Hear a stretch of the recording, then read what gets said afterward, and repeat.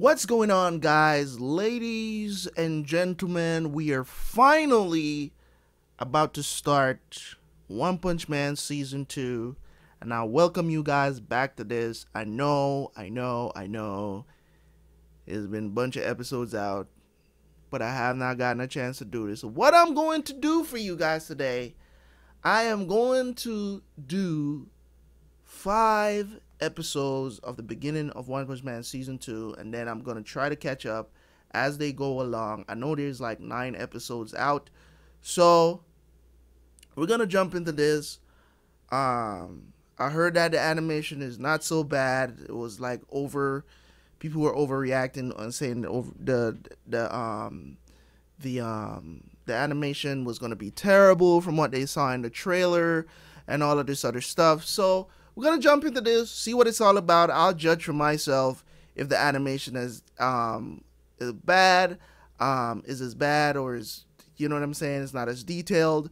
Whatever the situation is, because we all know it's not Madhouse that's doing it this time around. So, because they couldn't wait for Madhouse to be able, because Madhouse said they would have been able to do it next year, um, but they couldn't wait because the it's the hype. It's the same situation that went down with Game of Thrones. Um, I think they, they should have waited a little bit longer or did more episodes, and they did not do that. And now everybody, pretty much everybody, thinks that the last season of Game of Thrones is trash. Okay, so I'm gonna jump into this. Um, to be honest, don't have a lot of high expectations, animation wise. It's still a very interesting story to see how things develop from last season when it comes on to how is um have they finally recognized who Saitama is um Genos being who he is um being watching out for I don't remember exactly he got warned about Metal Knight I think. I, I think it was Metal Knight I don't remember exactly. I'm still interested to see how um Tornado to see these these people man these new people that we got introduced to at the end of season one. Um, Metal Bat. Um, of course, I'm excited to see the legendary Mumen Rider. of course, his legend goes on. Um,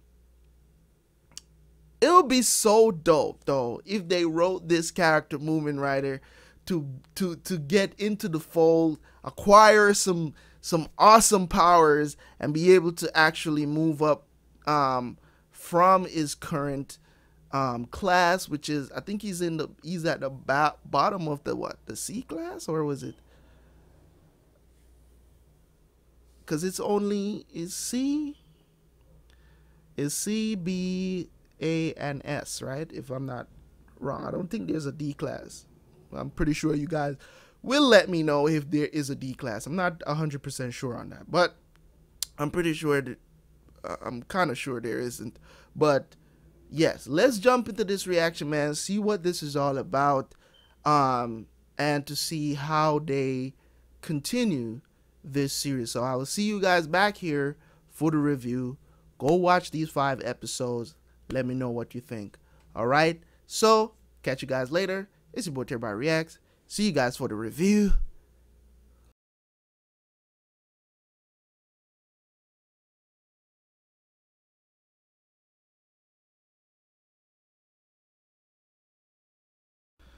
Okay, so six episodes of One Punch Man season two, and I'm I'm riled up.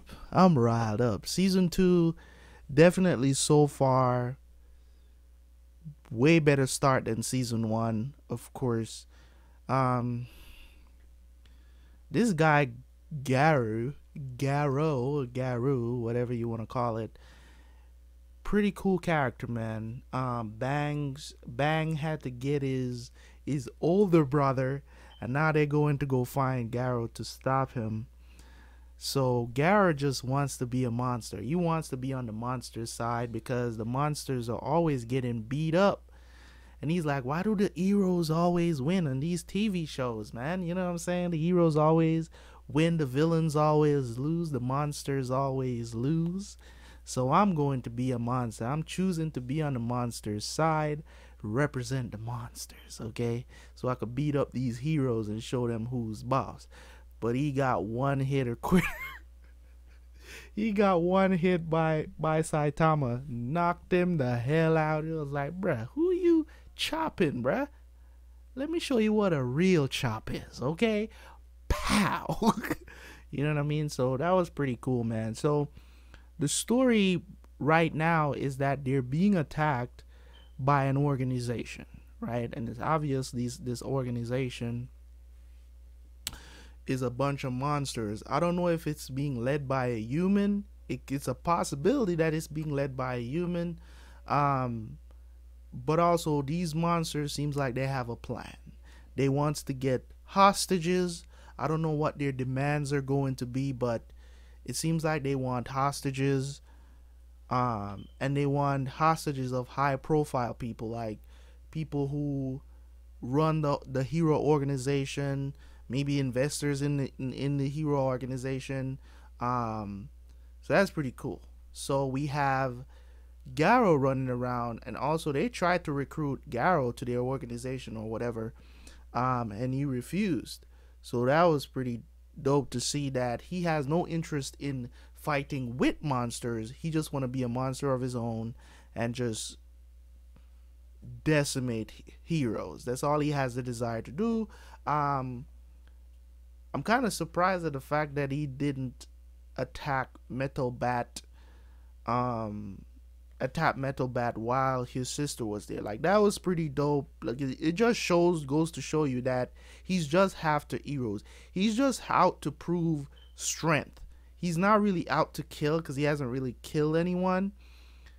He's just beat them up really bad. So he's not out to kill anyone. It doesn't seem that way, at least not yet. So I haven't seen him kill anyone, but at the same time, you know, I don't think he'll ever kill anyone, but I, it's still yet to be seen if he will. So um, I don't know what to think in that arena as in will he ever kill anyone because he seems um I don't know like his character is very is, is very mixed like he's not arming the boy with the book you know what I'm saying? And he's not harming little, you know, little kids or, you know, civilians or anything like that. But if you do get in his way, if you're a hero, you will get smashed, right? So he's the type of person where it's very hard to put his character into a category. So it's so in that aspect, it's pretty dope. We learned a lot of information over these six episodes, which is very interesting.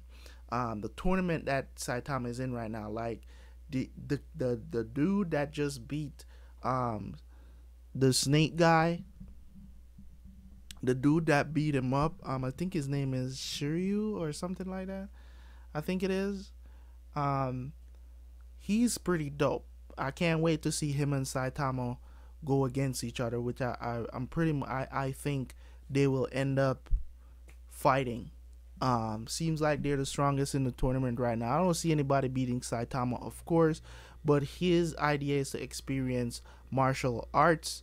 Um, not necessarily that Garou would show up, but um, but he's proven he's already beaten the last champion, and and now it's just that guy from from four years ago. They said that won it four years ago, so he's the guy to beat because he's like he's so casual. Like he learned, you know what I'm saying? I don't like people who have natural talent and they're pompous with it.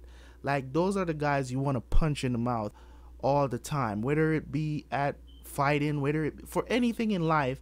When you're a natural at it, you still need to be humble. Still need to be humble. Don't be a pompous jerk asshole about the fact that you're good at something. It, do, it does not do good for your character and nobody wants to be around you. Okay? So you can't be pompous about it. Just be you be humble.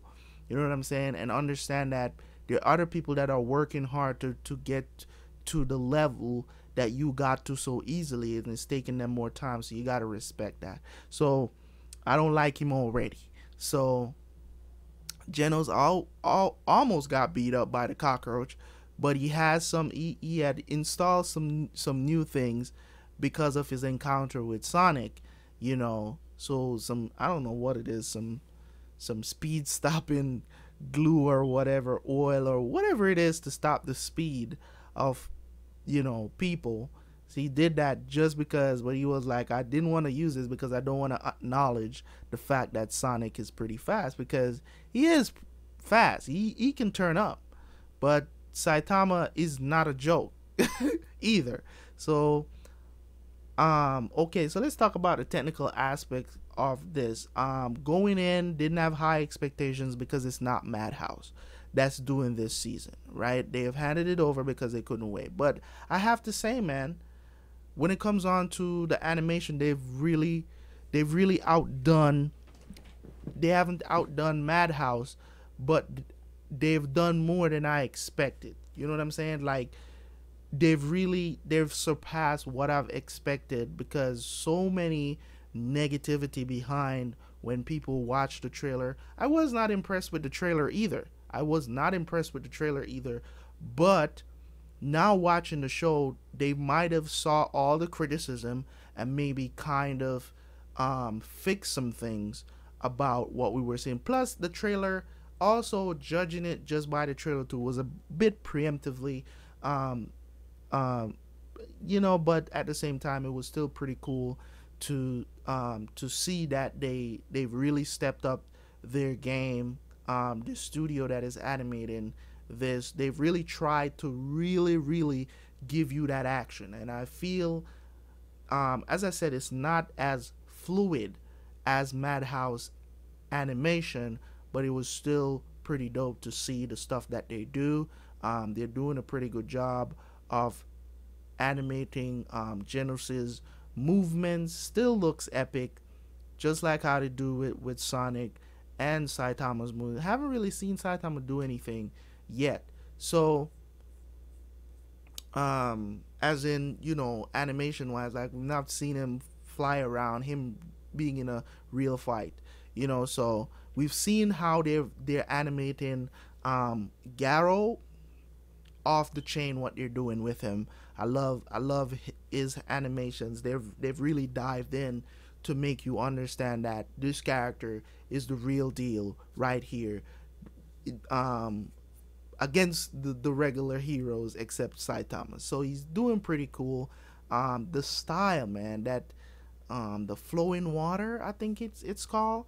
That style is ridiculous, man. And if if he's that good at it, what is going to happen when him is he going to become is he stronger than than Silver Fang? Is he stronger than Silver Fang's brother?